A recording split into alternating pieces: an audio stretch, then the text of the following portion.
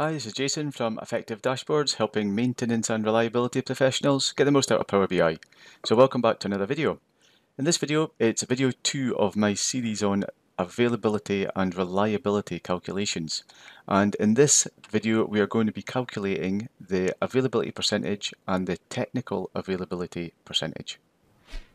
Okay, so let's get started. So if you look at the previous video, I'll leave a link below um, we set up the, the data and we calculated these um, calculations here, the mean time between failures and the mean downtime. So in this video here, we're going to go and look at the availability calculations. So just to be clear, I want to go through a few different definitions and just um, just set the scene for for this um, for this video here. So availability is the percentage of planned running time that is available for the provision of the machine's function. Okay, so the planned running time is quite important, and we did cover that previously. So basically, it looks at how much time you expected or planned to run that machine, and how much of that planned running time was actually available to provide its function. Now, we've got a couple of things related to downtime. Previously, looking at mean time between failure, we only looked at unplanned downtime.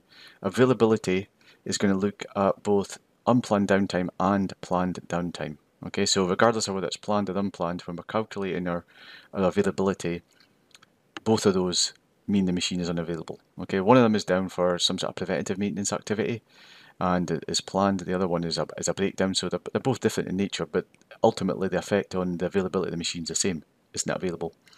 So that's the first thing. And then we're going to look at two different calculations. The first one is going to be the, the, the availability calculation.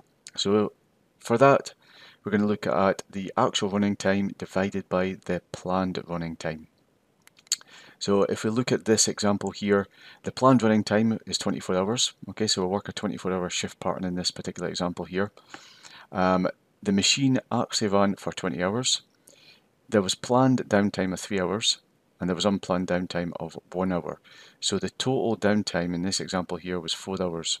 So 20 divided by 4 is 83% availability. Okay, so that's the first calculation that we're going to go and, and create.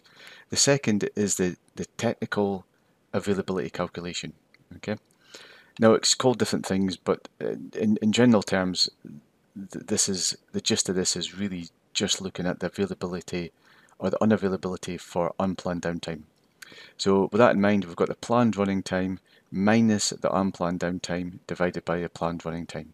So in this example here, we've got 24 and basically we're only is the planned downtime and we're only subtracting here the unplanned downtime okay this one hour here and then we're dividing that by the planned runtime so it's 96% technical availability and this really highlights how much of the unavailability is related to these events here which are unplanned downtime events which we can investigate and hopefully mitigate and reduce the likelihood of um, occurrence in the future. So that's the two calculations, or the definitions for the calculations we're going to go and create in Power BI. Okay, so in this example here, the planned runtime, okay, so this planned runtime is going to be the number of days um, that's selected here. Okay, so in this example here, it's from the 1st of the 1st, 2019 to the 31st of the 12th, 2020. So that's going to be our planned runtime. So if I go in here, this is the measure we're going to create. And first of all, we've got to get the maximum date selected and the minimum date selected. So we're going to use this calculate statement to go and find the maximum date on this values table. Now this values table, we did use it previously, is going to get all of the days across that whole date range that's um, that's been selected by this um, by this slicer here.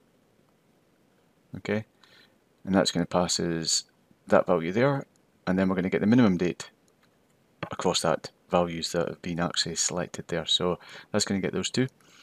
And then we're going to get the result, and the result is going to be the date, the difference between the two dates in days plus one. Okay, now the devil is in the detail here. So this date difference actually calculates the number of boundaries, boundary changes. Okay, so I've done an example here between the 1st of the 1st 2020, 2019 and the 4th of the 1st 2019. There's actually three days, there's actually four days in that date range, but the date changes from the first to the second, and second to the third, and the third to the fourth. So there's three boundary changes there, and that's what this is actually counting. So we're going to add one on to the end of that to get the actual number of days. And there's probably a better way of doing it than this, but this is going to get you the result that you need for this example here. Okay, so next we need to take that planned running time in days and convert that into hours. Okay, so to do that, we create another measure. Now this measure here multiplies the planned running time in days by the shift length. Okay, so we've talked about this concept before, but basically we've got this idea of a shift length. And if we're the planned running time is 10 days and we're planning to run the machine for 12 hours a day, then that would be 120 hours would be the planned running time.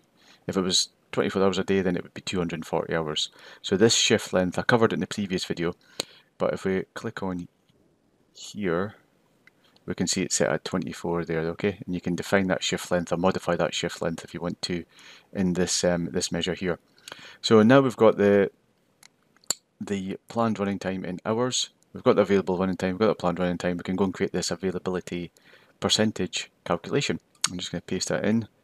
And um, yeah, so the actual running time between divided by the total time in the period analysed and here it is there. So just let's add that in and then we're going to just build it up in here. Now I quite like to be able to see the, the components being added in here for the calculation. So let's start off by the actual running time which we've got there so it's fine. And then we've got the plan running time uh, which is in hours which is here. Which is going to be the same actually because it's just this date here. In fact actually let's add that as a card.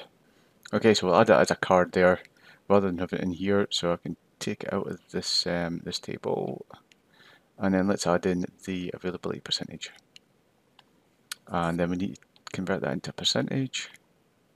Okay so we can see here that the availability percentage is coming in and we can sort this by the highest to lowest.